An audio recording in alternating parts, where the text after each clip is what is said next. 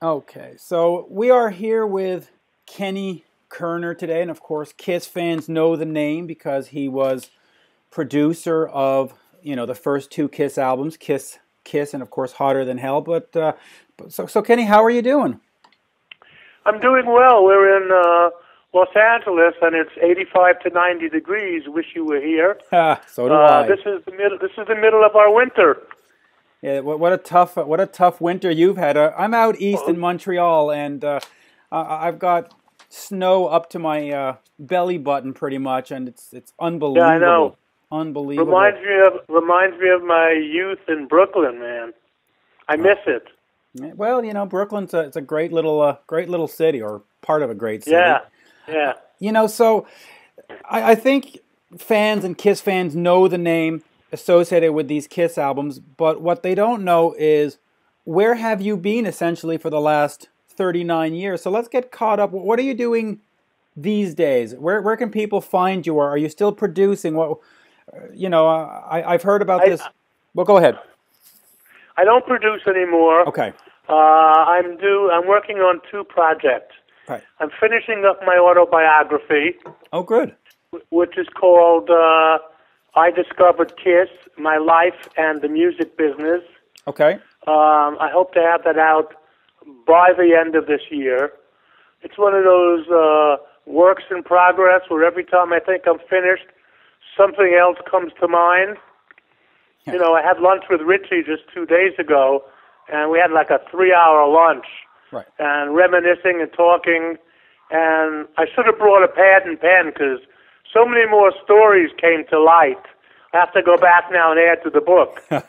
So I don't know if that if that'll ever be finished.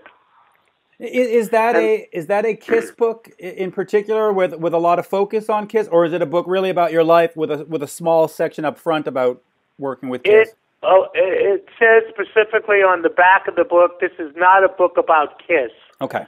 Um, the, the the reason I did that was actually for the recognition. If I just called it "My Life in the Music Business," people would go, well, "Who's Kenny Kerner?" Right. Right. I mean, outside people, everybody in the industry knows me. Right. But if I call it I Discovered Kiss, my life and the music business, you know, a regular kid, musician, fan of music would see it and go, oh, uh, now, you know, and put two and two together and hopefully buy the book. But it clearly, on the back of the book, it says this is not a book solely about Kiss. Okay, but there is Kiss Con. Now, now the other thing that I know you're doing is, uh, correct me if I'm wrong. It's just called Cool School. It's called The Cool School Okay. for Music Business Studies. Okay. And all my life, I've been really fucking pissed off about how many of these colleges rip off students, musicians, make them take twenty, thirty thousand dollars in financial aid, Right. make them commit for a year or two years. They wind up dropping out of school so they could get a job at Starbucks and start paying back these loans. I got incredibly pissed and decided to do something about it. So my best friend, Chris Fletcher, who I've worked with at Musicians Institute for 10, 12 years, Right. she and I decided we're going to start our own school. And we started a place called the Cool School for Music Business Studies. Every other Saturday, we give lectures on music business stuff. Now, now by well, I was going to say by music business, do you mean you know copyright law and and and you know that kind of stuff, or are you talking about? I mean every I mean everything except performing on an instrument. Okay. if you if you are a a guitar player, a vocalist, or interested in becoming a personal manager, you need to know how to navigate the music industry. You need to know the basics of the music business. That's why we teach. How does publishing work? How can I make money as a musician? What is personal management? How to survive as an independent artist? How to promote my music through social media? How to network in the music business? Every other Saturday, another topic. They're all taught by industry professionals, and they start at 2:30 Pacific time. They're about two hours long, and we charge the incredibly high price of twenty dollars to get in. Now, and, and can people join you online also? Can can they can they tune in and watch it? The eventually they will be able to. Uh, we're getting that. We just started three weeks ago. Oh, great.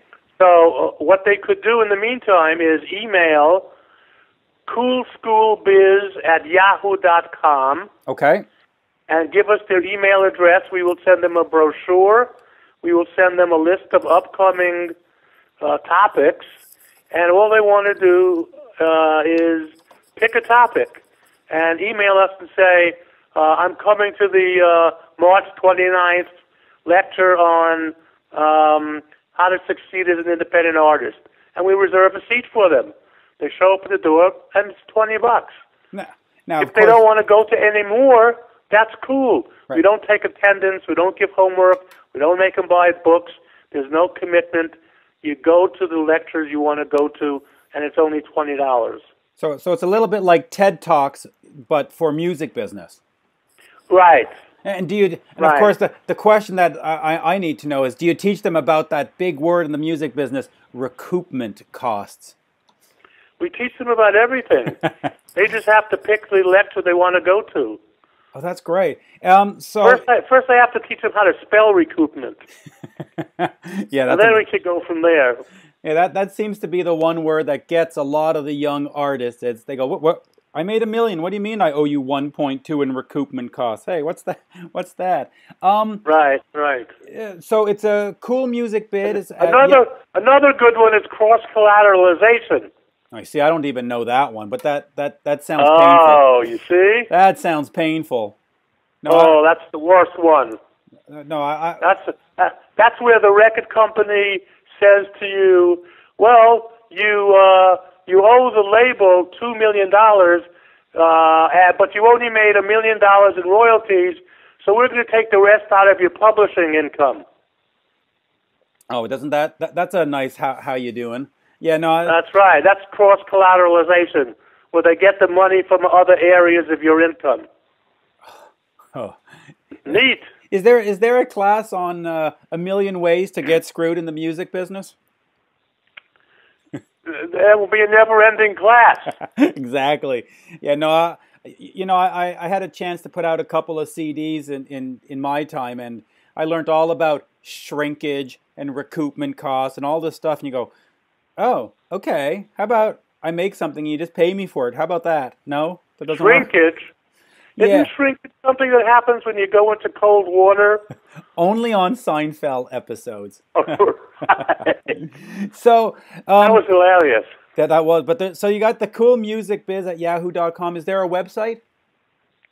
There's a website which is uh, http Right. colon slash slash www dot thecoolschool dot biz b i z. B I Z. Okay, so good. That's so the website.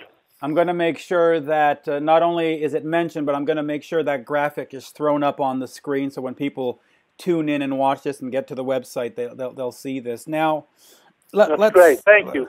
let's let's let's let's dig back into the past for a little bit. Let let's start with well, let's start with the book title. I mean, it says I discovered Kiss. Okay, how so? Uh, Let's well, go back to just a- 1972, 1973. Okay, so just as a footnote, Mm-hmm. uh, in in my office on my wall is hanging a color lithograph of Gene Simmons' solo album. Okay. Remember, all four of them put out solo records the same day. You're going to find this silly, but I actually have Gene's solo album in front of me because I was talking to Oh, uh, okay. I was talking to Alan Schwartzberg who played drums on it the other day, and I had taken it out just to reference something, so I have it standing right in front of me. Okay, so it's a big close up of his head Yep, with his tongue, yep. and he he blew that up, or the label did. Wow. He gave me a blown up lithograph of that, and at the very bottom in the white space, he took a sharpie, a red sharpie, and he wrote to Kenny, "You heard it before anyone. Thanks, Gene Simmons." Wow. So so so let's So start I right have there. that. The story is as follows. I had a job uh, as a music journalist at a magazine called Cashbox. Yes, a which very is famous just like magazine. Billboard. Right. Yeah, it's just like Billboard. And um, I had started producing records for Neil Bogart Right. uh, with Richie. Uh, most of the records were for Buddha Kama Sutra, which is the label he was president of. Right. At the same time he was running Buddha Kama Sutra, he was finalizing a deal for Casablanca Records Right. through Warner Brothers. Neil's problem in the music industry was he could never find a rock band, legitimate, streetwise, that the fans would just admire, Admire. and buy millions of records. Can, can I ask one You could question in between? Yeah. Um, when I spoke to Richie a couple of weeks ago, he told me that at the time he was 22 years old. How old were you when, when you were starting to produce and, and work with Kiss and all? And you had you had produced the Dust record before that, right? Yeah, I was, I'm about, I think, a year or two older than Richie. Wow, it, it- it's amazing to think that, you know, at 22 and I guess at 24, here you are producing these records for, for Neil Bogart because, you know, in 2014, you think of a record producer, you think of somebody who's 50, who's 60, you know, maybe 40 No, if, I- if they're young, but Ri- Richie and I had lunch a couple of days ago, and to be honest with you, I was fucking amazed at the adventures we went through yeah. at such an early, uh, just one after another. You know, just one. I mean, for me, Richie stayed in production, Right. but after after we stopped producing together, uh, I was a successful publicist. Right. Um, I represented Body by Jake, Michael J. Fox, Jay Leno Oh, really? at, at a PR company. I was a senior editor of um, Rock Scene, Metal Mania, Concert Shots, and Music Connection for nine or ten years. I wrote two books.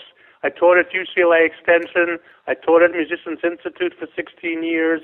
I worked at Aucoin Management. I just went just on and on and on, and everything I did was like incredible success. And I have no fucking schooling. I just did it from instinct and passion Well, that's you know, amazing. we were just sitting there. We were just sitting. We did the bar, the Badfinger album. yeah? Richie and I were standing in the fucking middle of Apple Studios, Studio A, Or the Beatles. looking at Paul McCartney's Baby Grand piano, the one he recorded all those Beatle albums on. Right, right, right. Oh, my God. just standing there. And then we hear a voice coming over the talkback going, Kenny Richie, come on into the control room. And it's fucking Geoff Emerick, Nice. the Beatles engineer, who was engineering the album with us. And we looked at each other and was like, you know, I expected to see Rod Serling any second. It's yeah. just like, what the fuck are we doing here? It's like a Twilight Zone episode. Yeah, yeah. It was completely surreal. And Jeff would go, Well, there's where Ringo set up his drums. I'm going, Fuck me, what is this? you know, there's John's guitar slot and, and George's. A quick story. Badfinger came in. Right. Tom, Tommy, Tommy, the bass player, uh, came into the studio. He was the first one in there, and introduced himself. And the first thing we say to him, Tommy, you got to tell us a Beatles story, because they worked with the Beatles. The Beatles produced some of their tracks. And Tommy says, um, "Let me see. Oh, I've got a good one. I came into the studio once, and I put my stuff down, and I hear Paul at the piano right here in the studio. And I walk in, and he turns around and he goes, Tommy, Tommy, come here. I got to play something for you. And I walked over. I said, Hey, Paul, how are you? And he goes, I just finished this song. Let me know what you think. And Tommy said, oh, I said, okay, let me hear it. and he turns around to the piano and he goes, Hey, Jude, don't make it. And, Wow. and he played the whole the whole song, Hey, Jude. Oh, that's And unbelievable. I, I, and I turned to Tom and I said, "You couldn't possibly have had anything to say." And he said, "No, Mom, I couldn't. I, I was. I couldn't speak."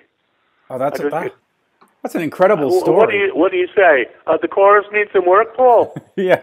You know, yeah. he, The guy played the first one in the world to hear "Hey Jude," and he asks you what you think.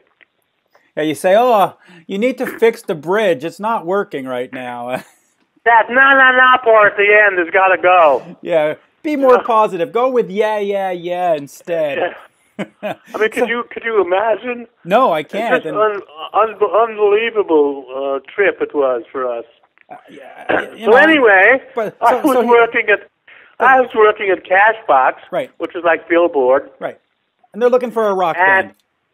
Yeah, looking. Neil was looking for a rock band for Casablanca because he had no rock bands on Buddha Kama Sutra.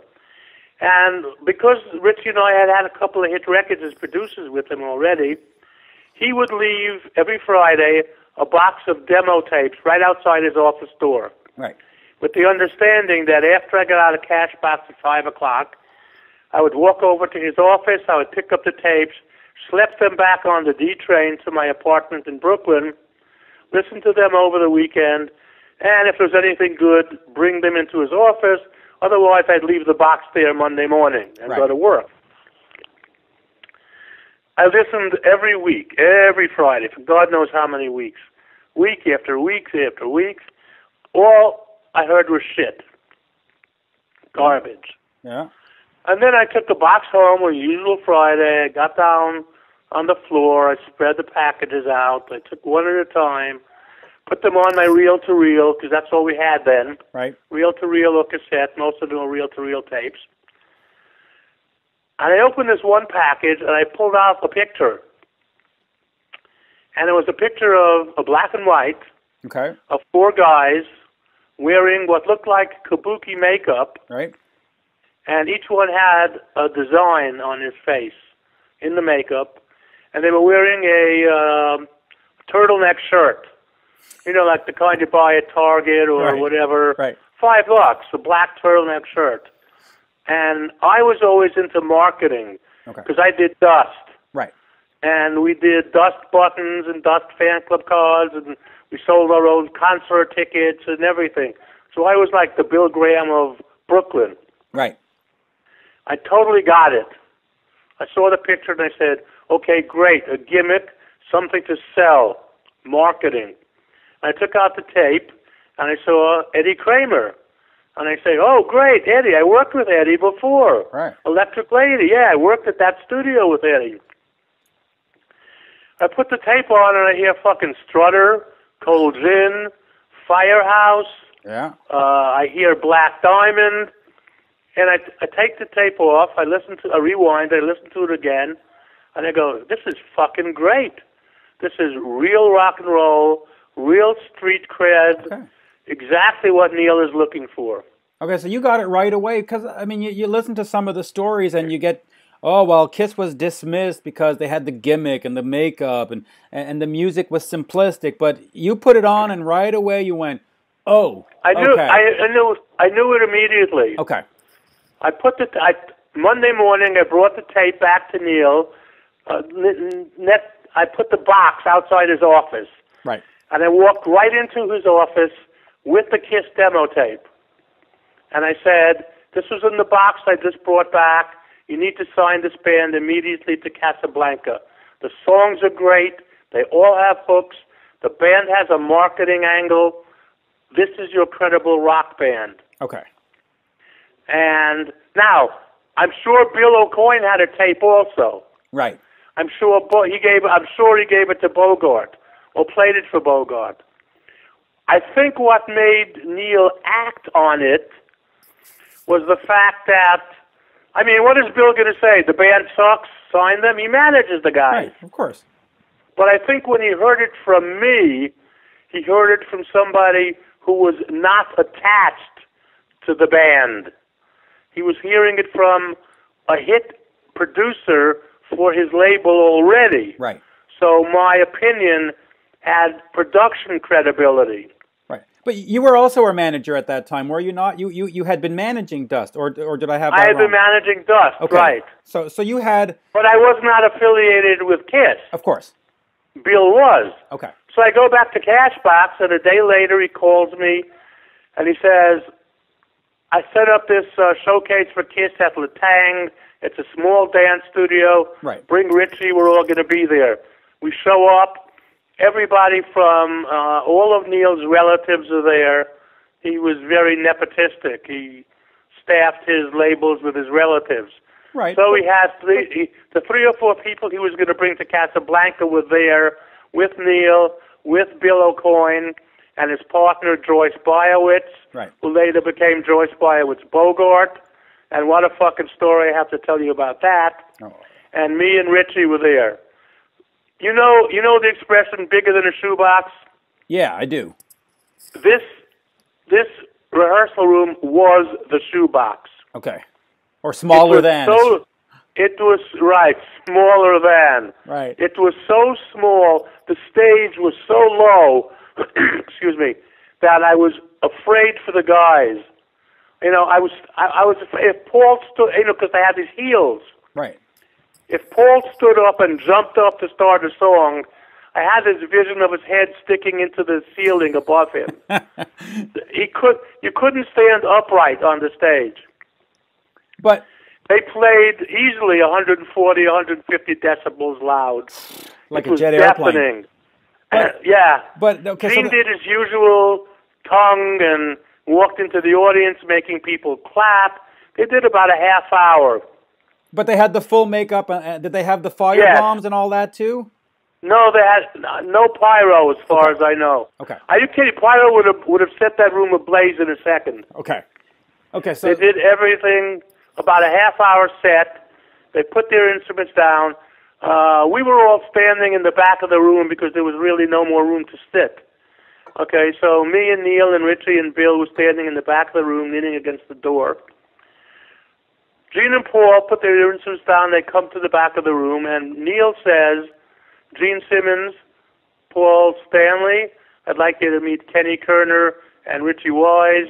They're producing your first album for Casablanca." were they excited or were they like, who the hell are these people?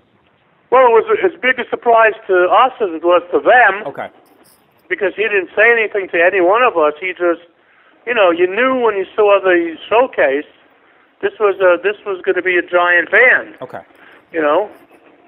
So Now I don't I don't know if Neil looked at it from the point of view of here's here's uh, something I could market because of the makeup, or he really got the music. Okay. You know, it's probably a combination of both. Because you did try to fuck with them later on with, you know, give me a hit single and, you know, forcing kissing time on the album. yeah, I want. I But want to that's get. how it. That's that's how it happened. So from that moment until you actually walked into the studio door for day one of the sessions, how long was it? Was it a week, six months? Uh, what was the timeline Uh, approximately? I, I don't remember. I'm no good with dates. I can tell you the first album took about a week. okay, but but From from the, from but from the showcase to the studio album, or f- from the showcase to the recording session. I mean, did, was the showcase in July and the album started in November, or was it you saw them in July and you started in July, kind of thing? I couldn't an- if you held a gun to my head. I Wouldn't couldn't know. answer that. Okay, so Richie's Richie's good with that shit. Uh, I do know that our procedure as producers right, was we always used to have them play all their songs for us at a rehearsal okay, and pick the ones we wanted to. But we had this demo tape now. We could easily say, well, you know, here's six songs right off the bat we want to do. What else do you got? okay, So it it was probably it was it was it definitely wasn't six or seven months. It was probably you know three four weeks at the most and just then to pick the songs. Do, do you remember, other than the songs, the 10 songs that are on the album, if there was an extra 10 that were recorded or an extra 10 that they rehearsed for you or, or, or presented to you? We we we usually ask them to play all the songs they have, but we never ever. Uh, this is another lesson in music business. Right. We never recorded more songs. We never recorded in the studio more songs than we were going to put on the album okay. because the record company owns them. Right, got So you. if you record, if you're a producer and you record 15 songs and you say to the artist, "We're going to put 10, pick the best 10," those other five songs belong to the record company. So five years later, when you leave that label, guess who's putting out an album of unreleased material? Right, and and by the way, that's a good point that you bring up because a lot of fans, you know, of Kiss or any band, always say, "Why don't they do a box set with all the demos?" And it's like, well, they don't own those, and if they're not on that right. label anymore, you can't, right? Because it's it's sort of a, a work for hire kind of situation where, you know, they're paying for the studio time, so whatever comes out of it, they own it, folks. exactly right. Um, so, so how did you devise the the first album, or what was your thought going in? So you had the demo, the Eddie Kramer, Eddie Kramer demos. You had the seen them at Le Tang. Right. What kind of sound? I mean, did did Kiss come in with a sound and you just threw it on tape, or did you mold it somehow? Richie and I um, had a really uh, unique relationship okay. as a production team. Right. He was really into the techni- the techie area of it. Okay. You know, give me two more dB here. Let's do this. Let's do that. I was into the business end of it. Okay. I didn't want to be an engineer. So Richie and I would talk, and in the studio, he would be the one to communicate with the engineer. I would be the one to communicate with Richie. Okay. And what we decided was, before we even got into the studio, this had to sound credible. Okay. It had to sound real. It had to sound raw. Okay. And so we decided to record it almost all live in the studio. Okay, great. With as few overdubs as possible, just vocals. Excuse me. And that's what we did. So it was ba- it was basically live in the studio, and this way no no gimmicks. You know, nobody could say anything about oh it's Neil again with his he doctored up the album in the studio with Kerner and Wise, and they made the band sound really good, but they suck. There was none of that. This was Kiss. Okay, and and, and so let, let's talk a little bit about the players then. As they came in and you got to see Gene and Paul, uh, did did how did they strike you? Did, did Gene and Paul have a very straight on forward vision of what the band was going to be? Um, how, you know, how, how did you view them in terms of musicianship? Is Gene a good bass player? Is Peter a good drummer? Did, did you have any thoughts on that? I thought Gene, uh, Gene and Paul were were okay. Ace was okay. Okay. Peter Peter had a timing problem, a really serious timing problem. Okay. But I mean, and that.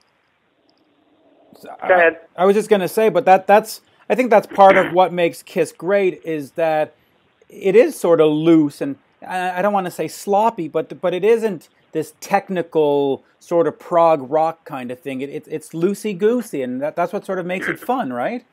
Yeah, there's there's Kiss, and then there's Yes. Yes. You know, if you want to see a real technically proficient, fucking spot on band that could stop on a dime, right. you go see Yes. If you want to go have fun and party and dance and hear some great rock and roll with a great, you go see Kiss. Yeah, and absolutely. that's what Neil needed at the time. He needed a really the the the quintessential rock and roll band. You know, and that's what he got. And that's, that's what why got. we did the album, you know, so live. now, now, so when you put the album out or put it together the first time, there was nine songs on it, and then Neil comes to you and says, "Boy, we need to do kissing time, and we need to throw it in there somehow." Um, yeah. Now, maybe correct me if I'm wrong. Was Kissing Time recorded more along the when Hotter Than Hell was done, or was there a special session between the two albums where Kissing Time was done? And sort of what were your what was your thoughts about that? Because a lot of people say, "Why did we do that?"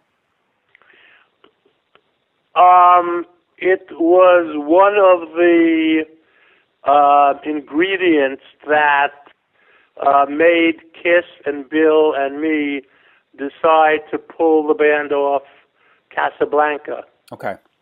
Because he lied to them about that. He told them he would never make them do any cover songs, and he would never force any songs on their records. Kid, uh, Neil, his whole career, God bless him. Right. Okay. Ningle, uh, Ningle, Bogart was the king of singles. Right. He could take a single called "You're a Piece of Shit" and sell 10 million copies with it. But you put that on an album, and he was lost. Okay. So, the album sold when all the smoke cleared about 150,000 copies, but there was no hit single on it to put it over the top. Right. There were a lot of songs that could have been single. Strutter could have been a single. Oh, absolutely. He, he released Nothing to Lose, which I thought was the wrong single, but almost every song could have been a single. He didn't know how to promote rock and roll singles. So the only thing he could come up with was, oh, let's do a cover. Why? Why Kissin' Time? Because there was a fucking gimmick attached to it. Neil it was the king of gimmicks, the king of hype. So if you do a song called Kissing Time, you have a kissing contest. With a band named Kiss, right? Duh, you see? see how stupid? And that went completely opposite his concept of a real street cred band. Because once you have a band with street credibility and you start doing that shit, there goes their credibility. Yeah. Straight you know, off. If, if if radio programmers initially initially didn't like them because of the makeup, how much more are they going to be hated once they release Kissin' Time? Yeah, it seems sort of a strange concept because here you've got these they're they're in the leather and they've got the makeup and jeans Gene especially there, especially if you look back at like the Mike Douglas show and stuff. He was overselling this demon persona and Yep. they're doing this happy little sort of teeny bopper kissing time song. It, I mean, didn't that hurt the image at the, in the long run? Where it's, it's like. Totally. It, it completely backfired. Richie and I refused to do it, and Neil basically threatened us. He said, Hey, I sign your checks. We need to do this. I need a single. We went into the studio, and after the band went ballistic, we sat around the control room, about eight of us, the four guys in the band, me, Richie, the engineer, uh, Sean Delaney, I believe, Right. and we rewrote the song in about five minutes. I took a pad and a pen, and I said, okay, we're rewriting these songs. We're kissing in, you know, and Paul would say, Detroit. And I'd write, okay, we're kissing in Detroit. We had the original Bobby Rydell version. We just rewrote it to put in more rock lyrics. Right. But still, Neil, Neil gets the record, he releases it, starts the kissing contest, and the fucking thing backfired. Everybody in the world covered the kissing contest. Lines, cameras filming lines and lines of guys kissing their girlfriends for hours and days and weeks. Nobody fucking related it to the band Kiss. so There uh, was a, there was no mention of based on the rock group Kiss on Casablanca Records, President Neil Bogart has initiated this endless kissing contest. Nothing. It was kissing, kissing, kissing, kissing. No mention of Kiss. right. It was, and I think it was it was being held across malls across the state. So they're like, there's these crazy kids in malls kissing. We, what what's going on with America's youth? Um, Yeah. You, you mentioned Sean Delaney, and he was there, of course. Um, what can you tell me about Sean? Because uh, you know a lot of people sort of consider him to be the fifth member or the sixth member of Kiss. Um, was he in the studio giving you guidance and saying, "Okay, this needs more of this and more guitar here," or, or, or what was his role, or was he just a casual observer?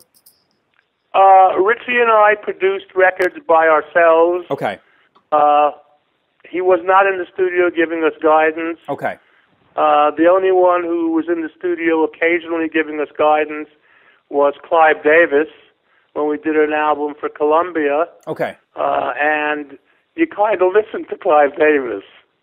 You know what I mean? Right. But um, 'Cause he'll make no, or break you. What? Because Clive will make or break you.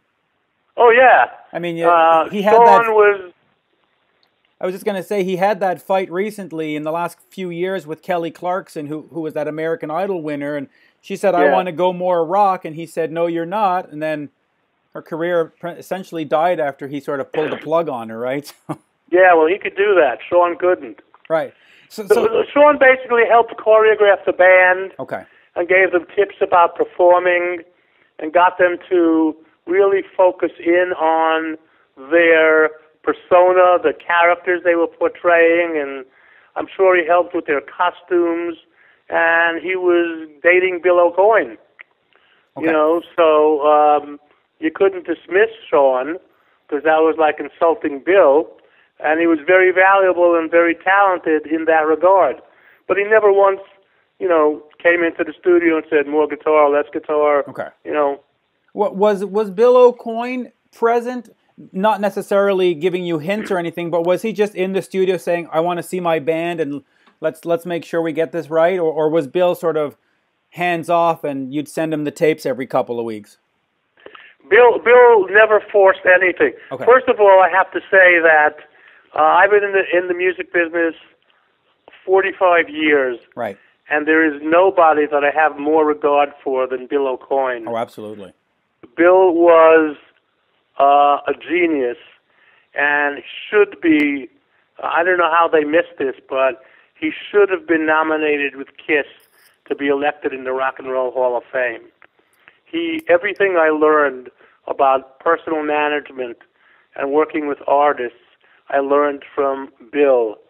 Uh, he was passionate, compassionate, understanding, and just had a brilliant, brilliant mind. He wasn't into fucking artists or deceiving them or ripping them off. He was a true artist manager. And very few people know this, but Bill and I were really, really close friends. And all the artists that he wanted to sign to management, Right. he would send me first. He would send me a CD or a, or a Well, a tape and and say, Kenny, do me a favor. I'm thinking about managing these guys. Check them out. I would listen to the music. I would check their websites, look at all the pictures, listen to every song, and email him a full report. You know, before he went and signed the band. So we were doing that kind of in a very stealth manner. right. But I he he, he I miss him dearly. W- he was just an amazing person. did you send him reports uh, after you started working with Kiss, or did you know him before working with Kiss, and and therefore did you send him a report on Kiss? No, he got he got the Kiss album First. uh, probably from Gene. okay. Uh, I'm, I'm guessing probably from Gene. Um, Bill and I worked on another project, a band that I put together. Uh, this was after Kiss was already recording, a band that Gene produced uh, against my wishes, but it was a band I put together, a, a teen pop band called Virgin. Yeah, you know, I don't remember and. I, I I managed them. It took me a year and a half to find the guys. You know, I was always I was always amazed by the charts, and I studied the Billboard charts, and I realized that every year there'd be another teen idol, Yeah. and they didn't even have to do their own songs. Donny Osmond, all, going all the way back to Frank Sinatra, Elvis Presley, Bobby Darin, Donny, Marie, the Osmonds, Bo Donaldson and the Heywoods, Menudo, Shaun Cassidy, David Cassidy, the Partridge Family, Leif Ga- Garrett. and on, Leif Garrett, and on and on and on. So I put together this five-piece rock and roll band called Virgin, and I managed them. They rehearsed five or six songs, and I said, I'm going to bring in Bill Aucoin to co-manage them with me. I brought Bill in. they did two songs, and he says, I want to manage you. We co-managed them. He says, I'm going to bring in a producer to see if he wants to produce you. He brings in Michael Lloyd, who produced all those artists. The Cassidys, the Osmonds, Leif Garrett. Michael comes in and he hears them do their five-song set, and he goes, um, "I can't, I can't sign them right now because um, he was affiliated with Curb Records, Michael Curb's label. Right. Says I can't sign them right now because I'm going out on the road. But what we really need is Shaun Cassidy is going out on the road for the first time. The Hardy Boys, the Hardy Boys TV show just ended, He's had two platinum albums and three hit singles. He's finally going on tour. We need an opening act, and Virgin would be absolutely perfect to open the tour.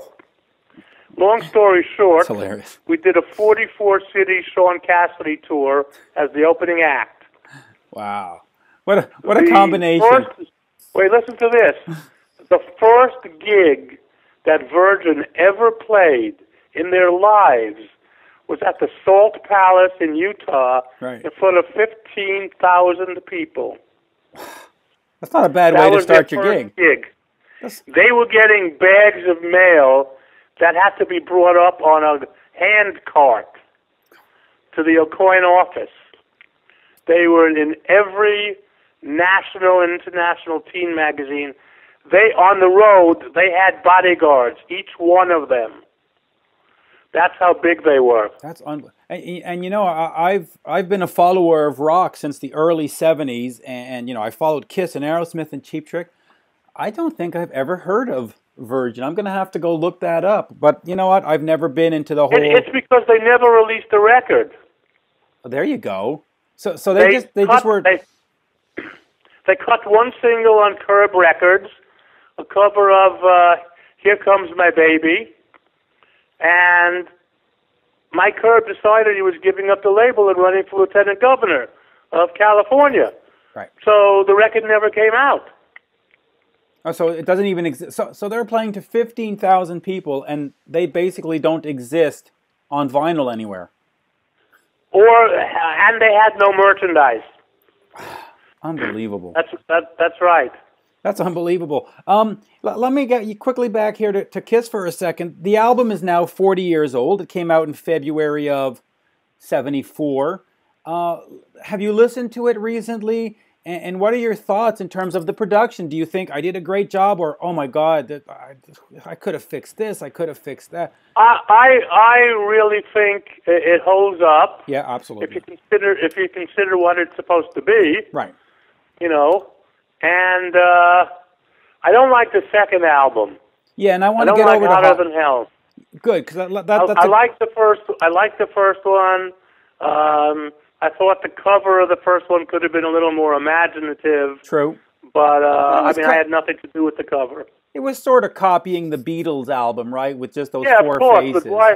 Why would you copy a, a, a group like that? They're not even in the same genre. It's not even an obvious cop. I True. just thought it was all black, and you know, it could have done more. But you know, looking Yeah. back on it, forty years. I mean, other than Peter Criss, uh, Peter Criss's makeup, which is sort of strange on the Kiss cover, it is an iconic kind of image. Right. All I'm saying is, for example, if I had done that same cover, Right. the background would have been white, and the Awesome. reason is because the black would have popped right off the cover with that contrast. Would have been a contrast. Yeah, that that's actually that's interesting. Yeah, I don't like black on black because everything just sort of runs into each other. Yeah, it just You fades. know, in. you know what I mean? Well, yeah, and that's I what you see on the cover. Pop. What? When that's what you see with the cover, all you really see is the white of the makeup. Everything else is just blended into sort of a, a, a continuous background kind of thing. Yeah, So- I don't know. So, so let's knock me out. Let's look at hotter than hell. You know, there, there there has been this discussion, especially among Kiss fans, that the production with Muddy and that it, it, you know the drums were sort of not you know the, the drums were messy. And why don't you like hotter than hell, the album? Uh, I don't like it for two main reasons. Okay, Uh, I can't talk about the production because number one, I'm too close to it. Okay. Could we make it better today? Of course. Sure. Uh, are the drums too muddy? Uh, in whose opinion? right, You you know what I mean? That's a never-ending discussion. right. But I don't like it because I do not like the cover. Again, I don't get the cover at all. Uh, and number two, uh, I don't like the songs. Really, but what's wrong with think the songs? I don't think they're as good as the songs on the first album. Uh, you know what? As a fan, I'll agree to that. I I think the first album should have just been called Best of or Greatest Hits because 40 You, years if later. you go, if you go see Kiss today, guarantee you they'll be doing almost every song off that first album. Yeah. Oh, you're absolutely correct. And if you Those are iconic songs, and absolutely there really there really aren't that many on the second album. I mean, I don't even I can't even name all the songs on the second album without looking. You know, but I just didn't like the songs. I didn't think they were strong. We knew we had to make. We we knew when we went into the studio we had to show some kind of progress from the first album to the second album in terms of recording. right. You know, we have to show that the group progressed somehow. But that I think is a natural, you know, a natural step. You know, I, I know back in, in the early 70s, doing two albums in a year was sort of par for course, but the first one, I, from what I gathered, didn't sell as much as everybody had expected. Were there any pressures going into the second album of you need to write a single, you need to do this, it has to be more heavy metal sounding to be dir- you know, darker and dirtier to reflect the band? Were there any Neil constraints? Neil Neil Neil gave us no instructions Okay. whatsoever. Okay. Nor did he ever say to us, "We need to get a hit single." Okay, The problem was very simple. right. Neil did not know, nor did his marketing team know, how to promote a fucking rock group. Okay. They had not done it before. They didn't have the machinery, the people in place to promote a fucking rock group. If you take Kiss and put them on Atlantic Records, they'd be the biggest group in the world Right. because Atlantic knows how to promote Led Zeppelin Yep. and Foreigner Yep. and rock groups. Neil Bogart does not. Okay. So he, he didn't have That's why the group failed. well with those two albums, but then but then I guess Neil eventually got it right when he said to them, "Go write that anthem," which ended up being "Rock and Roll All Night" on "Dressed to Kill." Um, but I guess he, it took, there was a learning curve for him. Then I, I imagine to, to get to that point where he said, "Okay, Right, and even even with even with Rock and Roll All Night, right, Dressed to Kill didn't sell 10 million copies. no, You know, it didn't sell more than the first two albums, really. I mean, comparatively speaking. So even with the hit single, he couldn't promote the fucking album properly. He just didn't have the machinery. What was your relationship with Kiss out of the studio? Did you go to the shows? Did you follow them? I mean, did you just do the album and then okay, six months later here they come again, or did you try to? No, either- we went to we went to one or two shows, but I mean, you know, the shows were different. Once the albums were out, they were doing tours. Okay, You know, they weren't to Coventry or you know Biltmore Hotel or whatever, or Diplomat Hotel. They were doing bigger venues, so because the, the, the you know we question. Sorry, uh, the, the question I was trying to get at is did you say, huh, what, what I'm hearing on the record is not what I'm hearing live? How do I get that live energy onto vinyl? Or, or did you not have any kind of thoughts like that? Um, well, we thought we did with the first album. Uh, well, listen, I think you did. I think that album is, is spotless, quite frankly. You know, we saw the group live, and that's why we said let's make it a live album. we did, and like I said, the second album, yeah, a little muddy here and there, but I mean, it's um, you know, it's a matter of who's you know, you play it for ten people, you get ten different opinions. The bottom line, the one constant is Neil Bogart couldn't promote a rock group. Couldn't brew- Let, let me ask Period. you. No matter no matter how that album would have sounded, he would still not have been able to promote the rock group. When when I asked Richie Wise what he thought of Hotter Than Hell, he he essentially said he was embarrassed.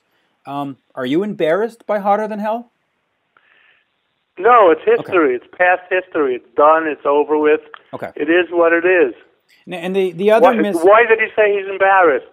he just didn't like it. Much like you, he just thought it wasn't a great record. He just thought he he's. He said that it didn't define him as a producer. He says he knows he's better than that. He knows he can do better. And if somebody comes to him and says, "Well, you produced this," he's embarrassed by it. I, I think that's very, very unfair of Richie to say that about himself. It's one thing to say it's not my best work. Right. Of course, now we were just starting to produce. Right. We only been producing a year or two when we did those albums. So obviously he got better and better and better, and did some great records. We did some amazing fucking records with Gladys Knight that Sure. I'm sure he's really proud of. But you know, it's a step at a time for an artist, and a step at a time for producer development. I didn't like it because I didn't like the songs. Right. I didn't think the songs were strong as the first album. Do you like the songs now? No, I'm not talking about the studio techie side of it. right. You know, he could find fault with that as a techie, but you know, to say he's he's embarrassed by it, it wasn't his best work. You know, that's like Van Gogh saying, "Well, my first, uh, you know, color painting wasn't my best." you, you know what I mean? But- but of do you course look- not. You got better as you went along. Do you look back 40 years later and think, eh, these songs are pretty good? You know, Parasite's got something going for it. Got to Choose is not so bad. Or do you still think the- the material just wasn't there? It's just not good enough. It wasn't there. Okay. Okay. Now, the the other thing that, that, that Kiss fans debate about often when it comes to Hotter Than Hell is the song Strange Ways. Apparently, Peter Criss had done this seven minute or nine minute drum solo and said, You better put it on the album or I'm out of this band. And then I asked Richie and he said, I don't remember that. Um, do you remember any kind of story about the, uh, an excessive drum solo being included on Hotter Than Hell or, I, I would like to know what drugs Peter was on when he thought he said that. so so there's no and, there's can, no and can I get some? yeah kick- probably actually but th- so there's no there's no outsta- there's no outstanding. There was never any single. He may have said that to Gene and Paul outside the studio, right but I swear I have no recollection whatsoever of any lengthy drum solo called Strange Days or Strange Ways or anything like that or any outburst by Peter demanding to put that on the record Yeah, and let's he'll be- quit. let's be very very fair to Peter uh, this could also just be Kiss urban legend I mean th- that's the story that's been floating around in Kiss world for, Well, I, I'm qualified by saying by saying to my recollection. right I don't remember any outburst by Peter demanding to have, right you know, a seven-minute drum solo Yeah. uh, on the record. And, and I just want to qualify it by saying Peter never told me this personally, so I can't quote him exactly, Right. but but that's the story. Um, so so looking back on Hotter Than Hell, not as not as pleased as the first. Now, you know, the, you had done good work, I think, uh, especially with the first one. Why weren't you invited to produce Dressed to Kill or the third album? Ah, Uh oh. therein lies the top secret of the band. Am I allowed to hear it? Yes, Good. it's going to be in my autobiography. You may as well hear it. Good. Here's what happened. I'm listening. Bill and I were really pissed at Casablanca. Okay. For and what so reason? was the band. Was it a financial them reason? do- he made them do Kissing Time. Okay. Wasn't really able to promote or market either album. Correct. And we knew that. The band was on tours. They didn't see it in places. You know, they had to, it just wasn't, you know, it wasn't marketed. They had no marketing department. Okay.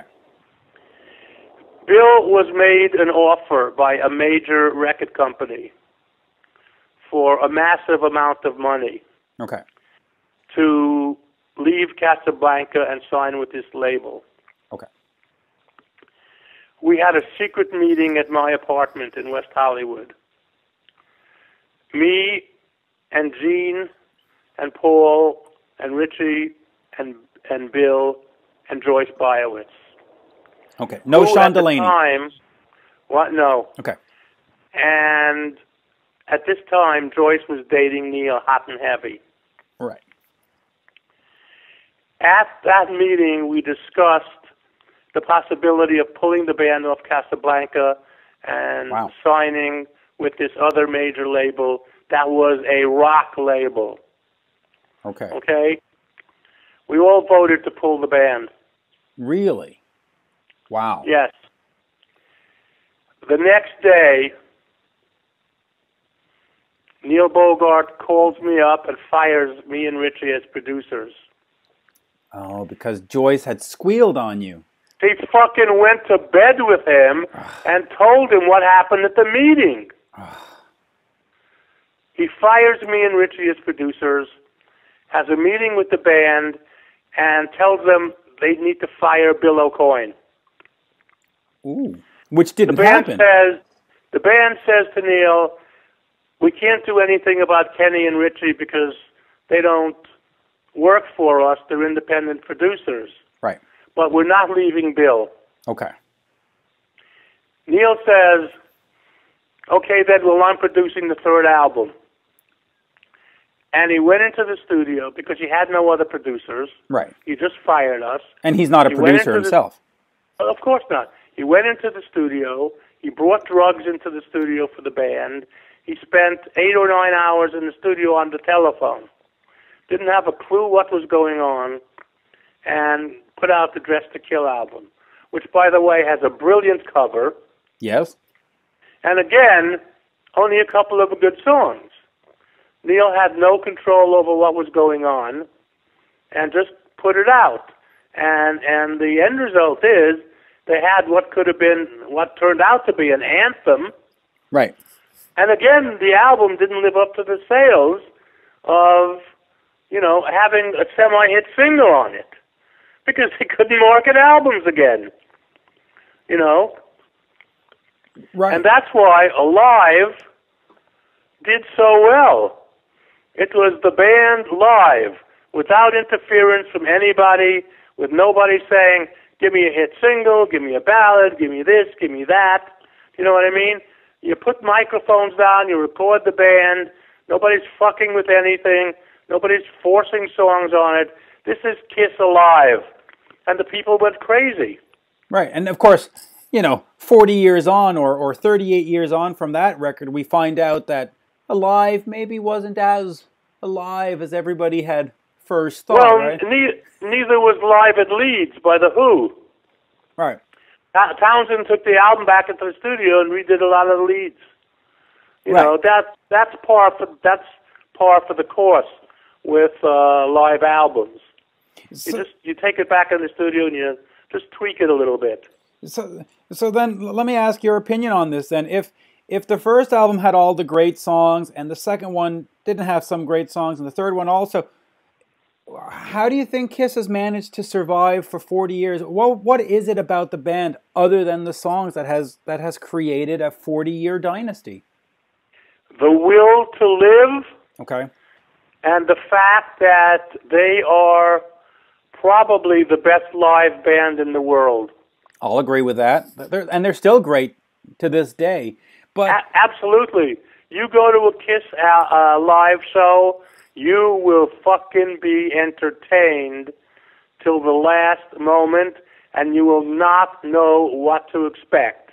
do, do you- yeah, no, I agree. Do you um do you still talk to either Gene or Paul or either Peter or Ace, or have you sorely fallen apart? No, so, sometimes we're all busy doing a million different things. Right. Sometimes you run into each other. Occasionally, I'll meet Paul in a supermarket and we'll talk for five minutes. Once in a while, I'll see Gene at some kind of a fair or whatever, and we'll talk. I mean, when they see me, we recognize each other instantly. It's not like, don't I know you from somewhere? Right. you know, um, but but we're we're just you know, we're just I mean really busy doing things and trying to stay alive and trying to stay relevant and you know that kind of stuff. So, all right. So let me ask you this then: Who do you credit more with Kissick's success? Bill Aucoin, Sean Delaney, Neil Bogart, Gene Simmons, or Paul Stanley? Uh, I consider there has to be a tie. Okay. Gene for the vision, and Bill for executing the plan. Okay. One without the other wouldn't have happened. Uh, okay, and and and so, did you sense that from the very first time you stepped in a studio with them that Gene really had a clear vision of where we're going, or was he sort of on a learning curve, going okay, and then Nope, finally? he had he knew He knew.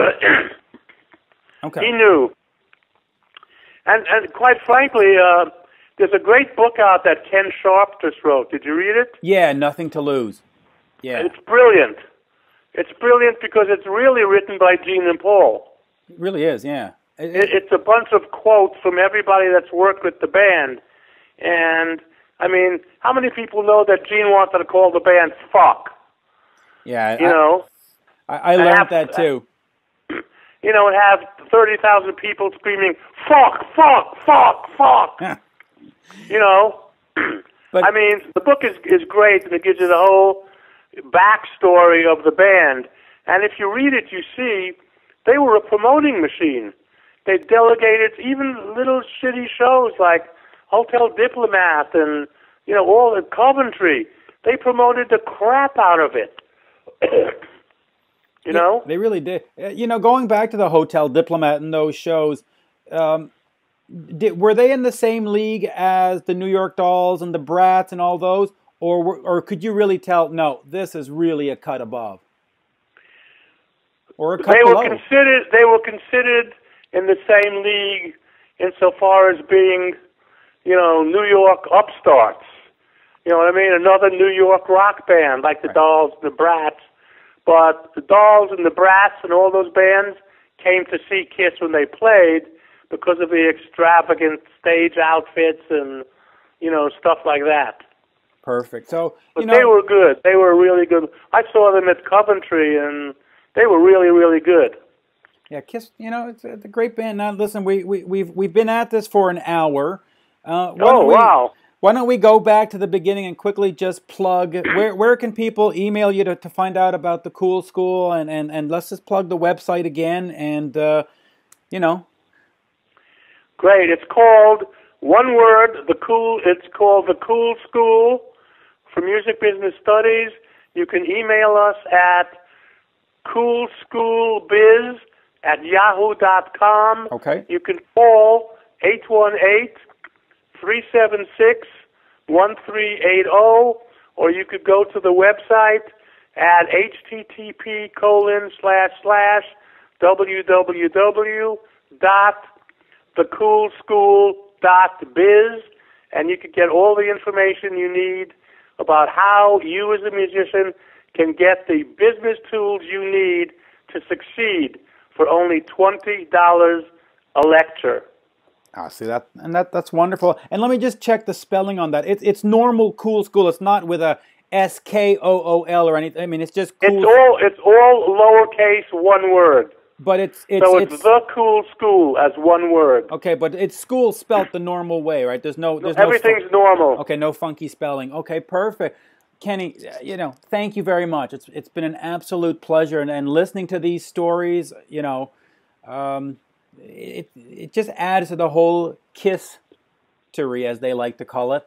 Uh, yeah. Know, it's it, it and it's nice to hear from somebody that was there and and listen again as a fan of of the band and as a fan of of those two albums i i got to thank you i mean uh, th- those two albums were part of my life and have been for 40 years and uh, oh yeah you know they, they sort of define me you know I, I don't know what i would do if i didn't have songs like firehouse or strutter or or even parasite in my life you know you, you did a great job yeah. and thank you well, you're very welcome. They mean a lot to me, and uh, they wouldn't have lived unless we give credit to the real heroes, which is the Kiss Army. Absolutely. For supporting the band, for buying the records, for filling every seat at concert halls around the world. Absolutely. And for um, continuing to keep the fires lit. Uh, and this band is going to be around for another 40 years, entertaining people every second of the way. Oh, absolutely. The, the, I think the Kiss legacy will, will go on far beyond any of our lives. I, I think uh, there's going to be another 40 or 50 years of, of fans growing up and hearing about Kiss easily. I, am waiting to see Children of Kiss. Kiss 2.0, you know? as we call it. Well, you mentioned right. four. You know, you mentioned Foreigner before. I've seen them twice in my life, in the last two years, actually and not once have I seen an original member in the band. So really, That's right. Mick uh, Mick was was sitting out the two shows I saw. So a foreigner can do it and still, you know, have a 2500 seater place filled to capacity. Kiss 2.0 exactly. is is easily imaginable and doable, I think. Hey, let me ask you a question since you questioned me for the last hour. Sure. What do you think about Gene and Paul not allowing Peter and Ace on the uh, induction ceremonies at the Rock and Roll Hall of Fame? Um, well, you know, the Rock and Roll Hall of Fame thing is really uh, a big mess. I mean, obviously, Ace and Peter have to be there. I mean, there's no question about that. But they're not going to be allowed. Yeah, but I, I wish that you know. I really blame the Rock and Roll Hall of Fame. Their definition, I think the Rock and Roll Hall of Fame is trying to cash in on a Kiss reunion. And I think the only people who deserve to cash in on a Kiss reunion are the original four guys. And, uh, you know, they, they let the Grateful Dead have, I think, you know, 25 members, and they let, you know, all these other bands have all kinds of. Right. And I don't think we would be talking about Kiss in 2014 had Eric Carr not come in and been very competent in replacing Peter. I don't think that the Kiss legacy would have continued had Bruce Kulick had not come in and you know just kept the ship afloat. So right. Um, uh, I, am not upset with Gene and Paul. I, and you know what, Kiss has always been about doing what you believe in, and, and I, quite frankly, I would prefer if they stayed home and just boycotted the Hall of Fame induction ceremony altogether because as a fan, I don't need some guy from Rolling Stone magazine telling me Kiss is cool. I already knew that.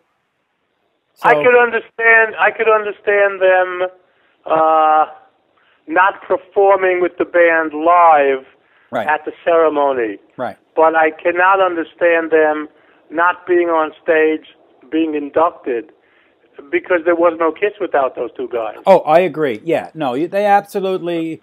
Uh, Ace and Peter absolutely deserve to be on that stage and pick up the whatever, the right. trophy, the piece of paper. so let them pick up the plaque or the award. Right. And then when Kiss performs, it's the current band. Right. And everybody's happy. Right. Except the Hall of Fame doesn't want that, and right. what are you gonna do? But you know what? Kiss has been has been a part of my life for you know 35 years, I guess. I wasn't there right at the beginning, but um, you know, they don't need the Rock and Roll Hall of Fame. They're going to sell out shows across the states with Def Leppard this summer, and it's not because Jan Wenner or Dave Marsh gave them a little trophy or a little plaque that that's going right. to make a difference. Right, absolutely right. So you know, so again, you know, thank you for your time, and uh, let's let's let's do a part two at some point, and let's get fans out there to check out thecoolschool.biz. Just give me a call. We'll do part two whenever you like. Thanks for the Great. opportunity, man. Thank you.